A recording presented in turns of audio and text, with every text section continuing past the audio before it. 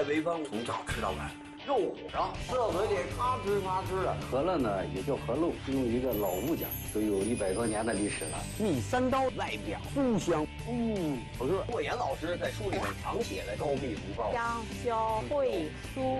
朝天锅这个原料，当地的一个特色邋遢饼，入口即化芥末鸡，潍坊四大凉菜之首，鸡肉嫩嫩，嗯，太好吃了。好，咱潍坊晚上必须得吃烤鸡背啊，太嫩了，倍儿香。终于可以做莫言老师在书里面写的这个高密炉包了。我叔叔都最喜欢吃姑姑做的炉包。高密炉包最大的特点，香焦、脆酥。这个肉啊，还有这种嚼劲儿。朝天锅这个原料是用这个猪下水，我们这个当地的一个特色邋遢饼，成品呢是以这个喇叭状。你先来一口，猪肚啊在里面煨的呀，入口即化。芥末鸡，潍坊四大凉菜之首，白菜啊就是主要配料，鸡皮丝，鸡肉嫩嫩，嗯，太好吃了。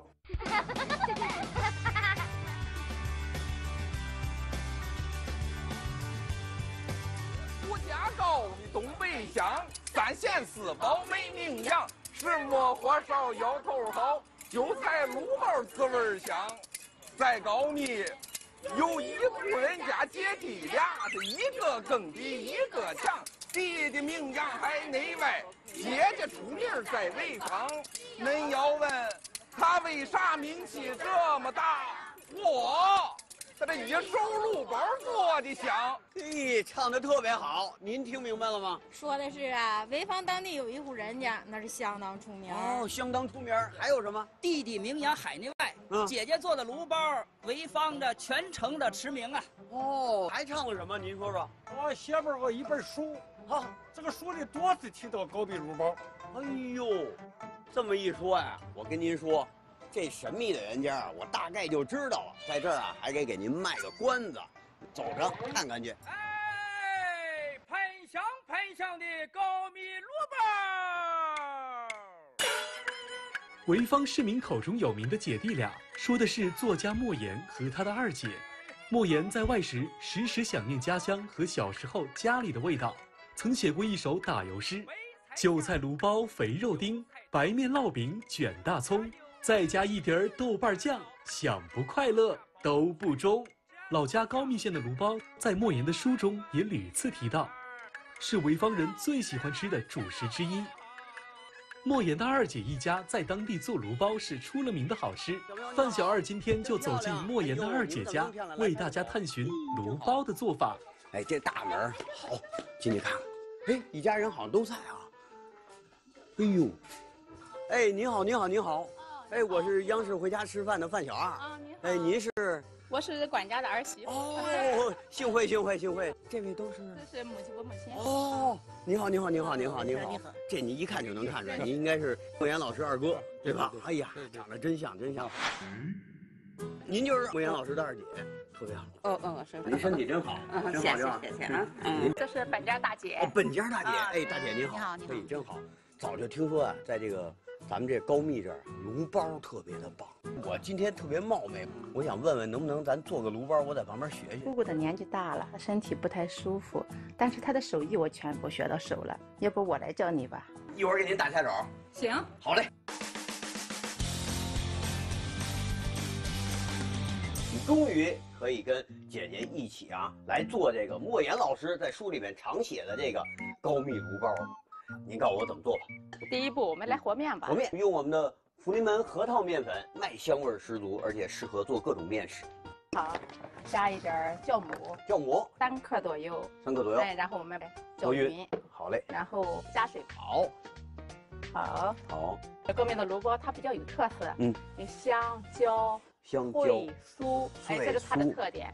而且关键的是高密炉包最大的特点啊，它肉是熟的，但是菜还比较生，很新鲜呀。只有我们这炉包才做这么好吃。对对对。哎呦，揉好了，然后我看已经揉得很光滑了。对，让它发一下，一个小时左右，我们要做馅儿了。咱需要用什么肉吗？后肘肉。后肘肉。我们以前用的是五花肉。我小叔那个有一首打油诗嘛，哎，其中有一句话就是“韭菜芦包肥肉丁”嘛，嗯，肥肉丁肘的就是五花肉。哦，现在为什么用后肘肉了呢？现在年轻人不喜欢吃肥肉，就喜欢吃瘦肉。我们先把肉腌一下，要生抽，生抽，哎，酱油，蚝油，再加一点鸡汁。我们这有太太乐的鸡汁蒸鸡原汤，入味多汁。我们拌一下，让它腌制着，然后我们就可以处理菜了。我们下面切韭菜，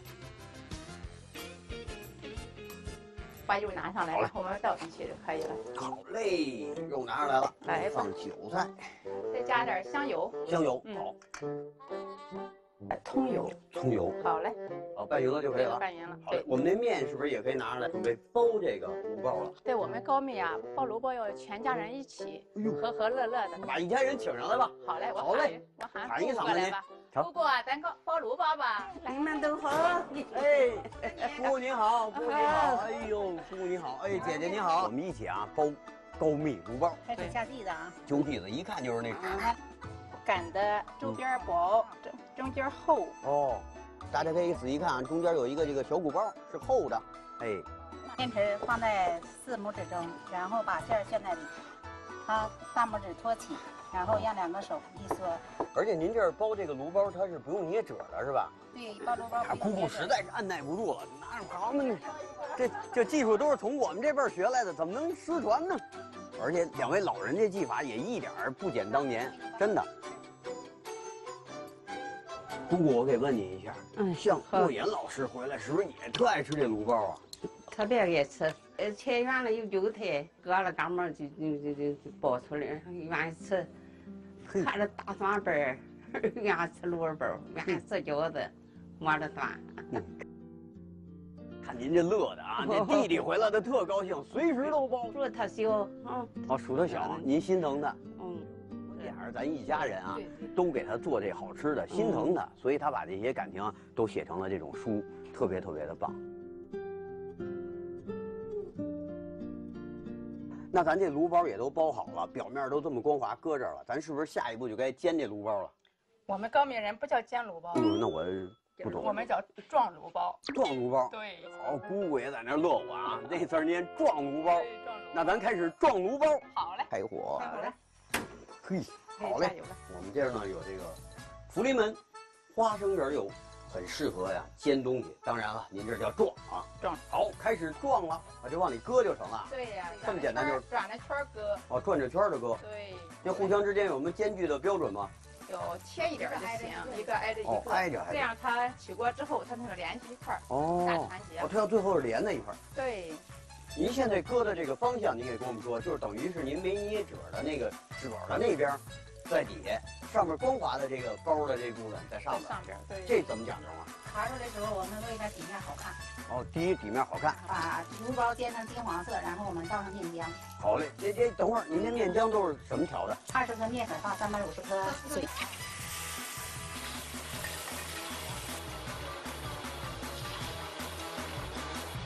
盖盖大火五分钟。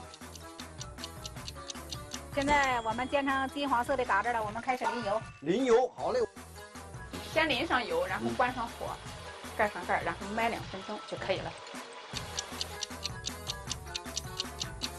你看，两分钟差不多到了，咱现在是不是给看一眼，合适不合适？好嘞，打开盖看一下。嘿，这我就听这声儿就觉得特别的悦耳。可以了。我们把这先把这煮篦子放在炉包上。哦，要放一。再把坛子盖上炉炉篦子竹篦子上。哦，专业的事儿就得您专业的人来做。哎，好，这整个就出来了一个，这上面都有嘎子，这倍儿脆。对。那咱开始吃吧，我先来啊。好嘞。好嘞。嚯！这里面啊汁水特别的充盈，而且这个肉啊，每一口咬下去它还有这种嚼劲儿。这个皮儿啊，一面是脆的，一面是软的，吃起来这口感特别丰富。我相信啊，木岩老师在家一个人吃这么两个没问题，是不是？是。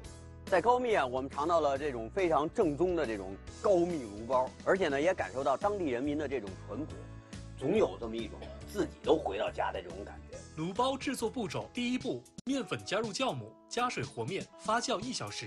第二步，猪后肘肉切丁，加入酱油、蚝油、鸡汁，拌匀后腌制。第三步，腌好的猪肉馅儿加入切断韭菜、姜油、葱油、鸡汁拌匀。第四步，面揪成剂子，擀成面皮，包馅儿，做出炉包坯。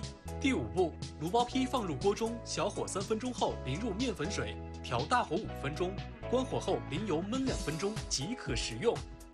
严选鸡肉才能够安心尝鲜。泰泰乐三鲜鸡精喊您回家吃饭，优质米面油认准福临门。本节目由东粮福临门冠名播出。一会儿我要去探索特别好吃的其他地方潍坊的美食。善用带回家，好嘞，不客气，谢谢，好嘞，再见。在高密，真的人呢非常的淳朴。您吃上一个热气腾腾的高密炉包，是忆苦思甜的记忆。哎呦，那简直就是依赖和习惯。山东快书里还唱到，来到潍坊有一道菜必须要吃，名字叫做朝天锅。据说这朝天锅与清代著名画家、文学家郑板桥有着密不可分的关系。当时潍坊的父母官郑板桥还专门为这道菜颁布了一道政令。这到底是怎样的一道美味？从清朝到现在都特别受潍坊人的喜爱。今天范小二就带您一起学做这道流传几百年的潍坊朝天锅。您这忙着呢是吧？我看这么多人排队啊，咱这名档真忙活。来之前就好多人跟我说，在潍坊想要吃到地道的这朝天锅，必须给找您。您做这个多少年了？二十三年了已经。二十三年，那您做这个肯定特别有讲究。我今天能在旁边跟您学一个？没问题啊。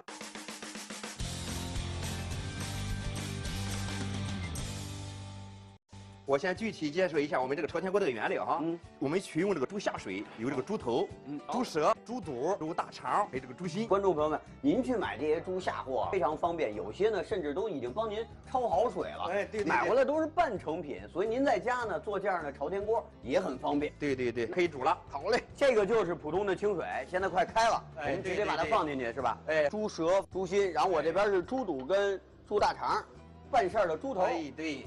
然后呢，加入我们这个准备好的我们的大葱、好大姜、八角、食盐，不要加别的一些调味料，原汤原味儿明白了。哎，说起这个朝天锅，它的名字呢还有一个历史渊源的。哎，那您给讲讲。清朝这个乾隆年间，这个潍县县令郑板桥微服私访，到了我们这一个潍县大集，号称有十万之众，有那么多人。嗯，这么多人，他中午的吃饭，哎呦，他就成问题。体恤民情的县令呢，嗯，就让随从支起一口大锅。就跟这么大一样的锅，比这还要大，哦，还要大，哎，还要大。民众就是围锅而坐，哦，这个自己可以带的一些干粮啊，嗯，你喝了一口热汤。那那个锅里是不是跟咱现在一样，也都是这种猪下货？哎，对对。你这个锅无盖，嗯，面朝天，哎，所以称为朝天锅。哦，哎，那您接着怎么做？下一步就是我们这个当地的一个特色啊，呃，邋遢饼。邋遢饼，哎，对。那怎么做？面粉，您需要面粉。好，我们这儿呢有福临门核桃面粉。好好，就这么多。哎，一定要有温水，这个面团它醒发的快。哦，而且柔软。哎，对，这个邋遢饼它就讲究这个面面团就是一定要软。嗯，你把它做成面团儿，揪 成匀了个的这种剂子，一个也有一两面，差不多吧？对对对，在咱装盘盖保鲜膜，醒一下，醒发半小时。嗯，香味已经出来了，对，还要再煮两个小时。对，我带你看一个我们的秘诀。您还有秘诀呢？对对对。噔噔噔噔，哟，这是一锅，这是一锅汤啊！对，你看一下啊，这是哎，这是我们当地两年以上的老母鸡，带皮的驴肉，含有丰富的这个胶质，跟那个一个进行一个混煮，目的呢就是给它那个汤给它一个提鲜。慢一点，慢一点啊，没问题。煮肉的一个原汤百分之七十，提味的汤占百分之三十。百分之三十，哎，好，再开火，对，一直煮到酥烂。对，咱开始是不是做这饼了？嗯，对，好。这个饼落好了，麻烦小米哥把那个电饼铛给我拿过来。哎这，哦，这个一点油都不搁，就直接往上搁。对，这个这是一个薄饼，这这是不用油的。这就有点像烤的那种馕什么的，一点不加油。有那个这意思，我明白了。下一步我们就做我们的一个灵魂调料啊！灵魂调料是什么呀？就炒一个芝麻盐。好嘞。芝麻的是我们的一个去皮的白芝麻。哦，已经去了皮的白芝麻。对，这个呢，炒这个芝麻呢，一个诀窍叫快炒芝麻，慢炒豆。这个芝麻呢，一定要快火，炒出来它这个格外的香。明白了。加入我们这个盐，加入盐，炒了以后，这个盐格外的香。你看这个颜色都变成一种黄色了，金黄色，香味基本上都已经出来了。下一步我们一直，我们该把它擀制。这个呢，就是。用力一定要匀，有百分之八十的粒儿吧都破开了，它的还剩下百分之二十的粒儿吧就不需要完全的破开，太碎了就也就没有那种口感了。明白了。这个肉就熟了。先用这个筷子先插一插，你看，哎呦，还要看手没熟？哎呦，透了，哎，这样就达到我们这个要效果了。哎，猪头肉都煮的都真到火候了，废了，我跟你说吧。全都烂烂的，对，烂烂的，肥而不腻。哎，对，你看这个猪肚里面，我们处理的处理的基本上多干净啊！对，这个呢，切多大个呢？呃，就是这个切成条，就像我们这个筷子粗细的，嗯，条。哎，对，肥肠哈，可以卷起来了。您看着啊，这怎么卷法？放好以后，撒入我们的芝麻盐，撒芝麻盐。哎，对，等于它这一头啊是尖的，一头是这个。稍微大一点，宽一点，但是呢，实际上所有的汤儿或者是肉，它都流不出来，因为底下已经封死了。哎，对。这个头朝前，对吧？对对对。先来一口，怎么样？嗯，好吃。味的呀，特别的烂，入口即化，特别的香。哎，因为这个潍坊人呢，在当地这个吃个吃饭呢，都爱离不开这个大葱。整个山东都离不开大葱。对对对，那咱加一个大葱。是不是那个口感滋味上有一种嗯，瞬间变成了一种升华啊？这咸菜是吧？嗯，对对。朝天锅制作步骤：第一步，沸水锅内加入焯过水的猪杂碎、葱、姜、盐、八角，小火煮两个小时。第二步，母鸡、驴肉加水熬汤，并加入猪杂碎汤中，小火慢煮。第三步，温水和面，做出卷饼，烙熟备用。第四步。脱皮的芝麻加入食盐，大火炒至金黄，擀碎备用。第五步，煮好的猪杂碎切成条，卷入饼中，加入芝麻盐即可食用。哎，陈大叔，哎，除了吃咱这朝天锅，嗯，您还有什么好的推荐？你吃这个朝天锅，如果再搭配上我们潍县四大凉菜之首的芥末鸡的话，那绝对是一个绝配。那这芥末鸡谁做的最好？啊，我向你推荐一个我的师兄，嗯，李大厨，李大厨，哎，他对这个潍坊凉菜，尤其这个芥末鸡，是深有研究。太好了，这样呢，我就可以学会做这道家庭版的潍坊芥末鸡。哎呦，您好，您好，您好，你好，好，您是陈大厨的师兄是吧？我是李学伟。哎呦，李大厨，李大厨，您是给我们来做那个著名的芥末鸡是吗？是的，太棒了。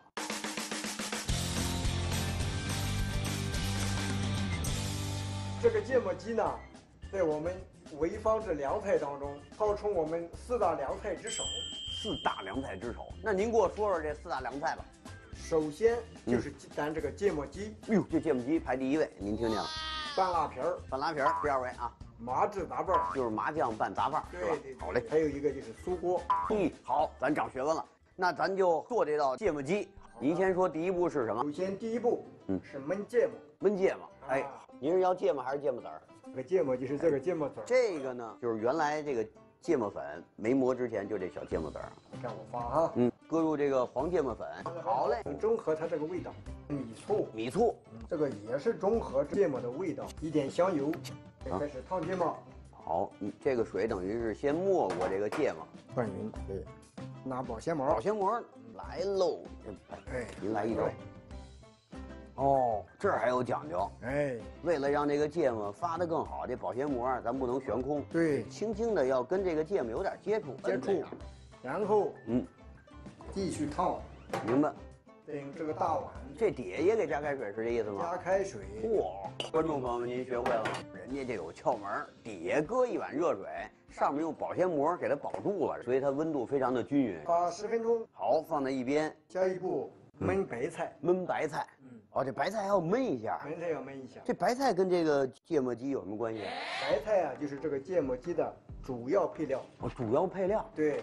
哎，我看您挑这白菜啊，这个挑的都是这个关键部位，白菜帮子。对对对。煮完以后啊，它有一定的脆度。哦，咔嚓吱的脆。对对对。哦，白菜放在水里。嗯。再拿这个花椒。花椒。哦，这个煮白菜要搁花椒。哎，要煮过花椒，它这个味道就会格外清香。一点盐。一点盐。这个白菜呢，就是大火开锅以后，这就可以了。哎，好，它煮开了之后，这个花椒味儿特别窜。对，拿米醋，呃，米醋，对，这样翻一下，嘿，扣上这个盘子，扣上盘子，凉透，凉透，好嘞。用焯白菜的这个水，嗯，香菜焯香菜，就是让它脆嫩一点，甜一点。咱也回家试试，烫一下，让它变甜了，还变脆了。下一步，咱们要煮鸡，对，最好是用当年的这个小公鸡，最具代表性的啊。嗯，你看它这个灯爪，哦，哎，就是小爪子的，它就是小公鸡儿。对对，换水咱们煮鸡。好，那边呢？水已经开了，开了，是不是该煮鸡了？煮鸡，煮鸡，开水下锅啊，来一点香料，香料，啊，八角给您，放一粒八角，花椒也是一点点。这个鸡啊是吃它的清香味，香叶、小茴香、姜片、葱节儿，葱节儿，加一点盐，来加一点盐，哎呀，盐，大火转小火，嗯，三十分钟，三十分钟，好。好了，盖子。要盖盖。切白菜，切白菜，咱这白菜也焖了十来分钟。对，好香哎，白菜的清香，还有一些醋的香味儿。对对对，嗯，然后把它片成磨刀片儿，那个横截面更大，调味的时候入味儿，对吧？切香菜，切成寸段嗯，焖好了芥末。嗯，等一下。呵，这一下就觉得眼泪都下来，这感觉特别窜啊。哎，捞鸡。嘿，一开锅盖，这香味儿就出来了。哎，虽然调料搁的不多，但是这鸡肉的香味彻彻底底的在这空气中弥散。这时候我们要晾一晾，是吧？把它凉透，凉透。一会儿咱咱就好掰了。劈丝。哦，好，顺着它那个鸡丝儿，鸡丝儿，等于给它拆成那种长的，就撕成这么大小就可以。都准备好了，拌芥末鸡。来，芥末，嗯，一勺就够了。来一点白糖，白糖，盐，盐给您。醋、香油、香油，好嘞，给它调匀，把这芥末、醋、香油还有盐、白糖给它拌匀。对，把鸡肉放进来，让它先入个味儿。白菜要挤一下水。哦，这块白菜要挤水。好了，好咱们就开始调。嗯，我在这儿闻见了那种特别窜的那个芥末味儿和醋味儿。好了，哎，高高堆起，漂亮。这道潍坊有名的凉菜啊，芥末鸡，咱就做好了。嗯，太好吃了。鸡皮特脆，弹牙；鸡肉是那种嫩嫩的，里面充满了汁水。大厨，今天啊，在您这儿学了这个潍坊的名菜芥末鸡，真的非常感谢啊！再次感谢李大厨，真的。芥末鸡制作步骤：第一步，芥末粉加入白糖、米醋、香油调匀，开水隔保鲜膜焖烫十分钟。第二步，沸水加入花椒、盐、白菜帮煮熟捞出，加米醋浸泡，香菜焯水备用。第三步，沸水加入鸡块、八角、花椒、香叶、姜片、葱、盐，小火煮三十分钟。第四步，白菜切片，香菜切段，芥末搅拌均匀。第五步，将鸡肉丝条放入芥末、糖、盐、米醋、香油、白菜、香菜拌匀即可食用。俗话说：“这一方水土养育一方人。”这潍坊的美食啊，简直就是潍坊的一张活名片。您吃上一个热气腾腾的高密炉包。哎呦，那简直就是依赖和习惯，是忆苦思甜的记忆。如果您吃上一个有汤有肉有饼的这个朝天锅，您就觉得好，潍坊是一个有历史沉淀的城市。再尝一份这个咸鲜可口的这个芥末鸡，您就立刻能够感受到这个潍坊的饮食文化。所以啊，看我们节目的朋友们啊，赶快来潍坊，您就可以尝到当地的地道美食，顺便您能感受到风正之都的舌尖记忆。